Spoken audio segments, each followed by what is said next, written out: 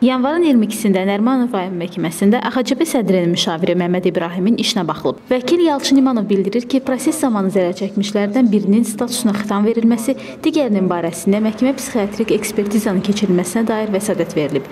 Hakim vəsadətləri qəbul etməyib. Müxalifətçinin oğlu atasının həbsinin siyasi fəaliyyəti ilə bağlı olduğunu deyir.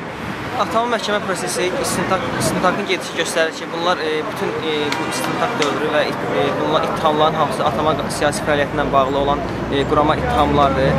Vəkilin verdiyi e, əsaslı vəsadətlər dövlət ittihamçısı və hakim tərəfindən heç bir əsas göstərilmədən e, bütün vəsadətlərin heç birisi təmin edilmədi və bu e, bunun özü də yəni göstərir ki, bunlar hamısı qurama ittihamlardır və e, şah e, zərər çəkmişlərin e, birinin ifadəsini geri götürməyi, o, biri zərər çəkmişin məhkəmədə ümumiyyətlə iştirak etməməyi e, və e, etmədi və bunlar heç dövlət ittihamçısı deyir ki, bunlar e, vəkil zərər çəkmiş e, iştirak etmədən məhkəmə davam etdirilməsin. Saxlanma şəraitindən yəni özü deyir ki, şərait yaxşıdır.